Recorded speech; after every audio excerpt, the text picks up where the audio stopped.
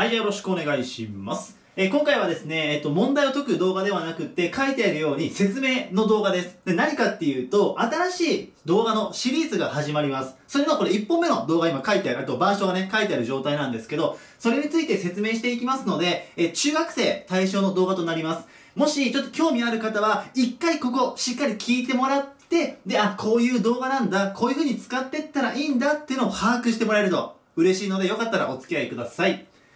で、今回始まるのは、ここに書いてあるように、テスト対策という動画のシリーズが始まります。で、ひとまずは中学生の1年生、2年生、3年生の数学のみです。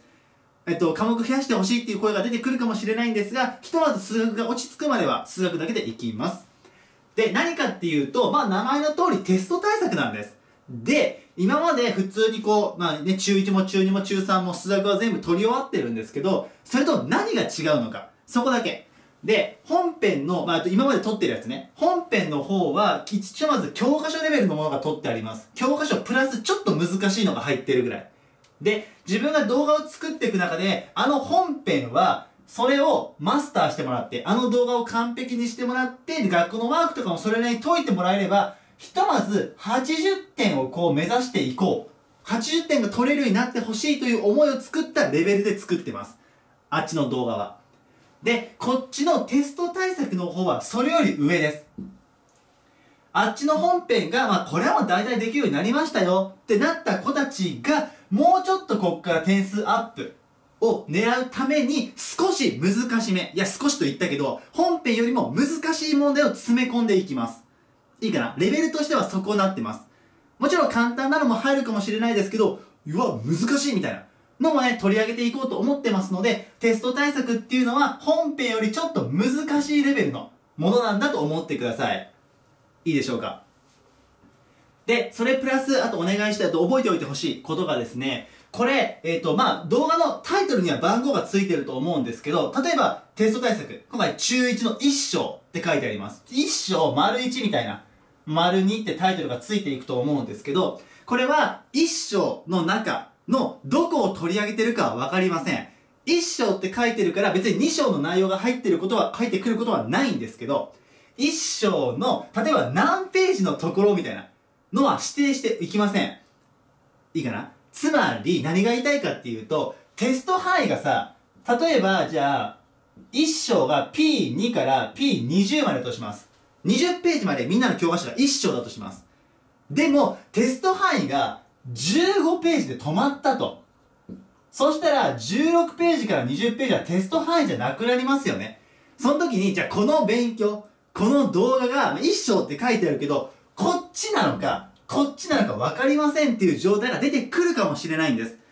ただ、ここは本当に申し訳ないんですけど、章によって分けていくので、そこの判断は内容を見て、みんなが判断してください。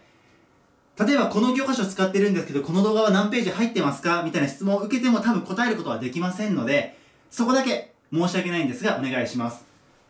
で、もう一個。これから動画シリーズどんどん増えていきます。1番、2番、3番、4番って。番号が若い方が、ページでいう古いところとは限りません。例えば、番号1、今回の動画が P2 とか3、最初の方の内容だけど、次の動画はすごい19とか20、最後の内容。で、3番目の動画は P4 から5とか、また前の内容みたいな。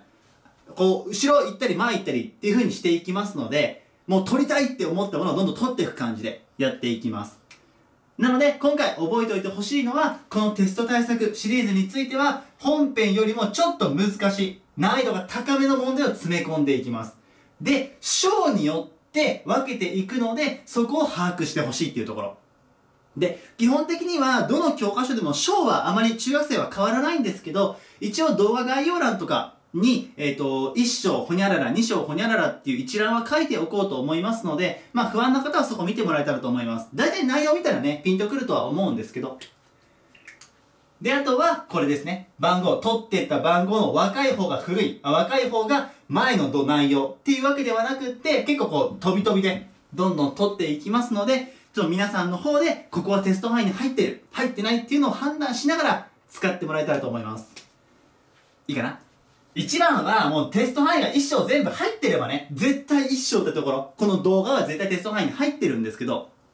まあ、もし、えっと、章の途中で切れた場合、そこはね、みんなで判断してもらえたらと思いますので、まあ、こんな感じでやりながら、もし取っていく中で、ちょっと微調整したりとか、変更していくこともあると思いますが、えこのシリーズやっていきますので、ぜひテスト勉強の方に使ってみてください。では、次回ね、えっと、まず中1の一章から始めていきますので、ぜひ対象の方は見てみてください。では、今回はこれで終わります。以上です。ありがとうございました。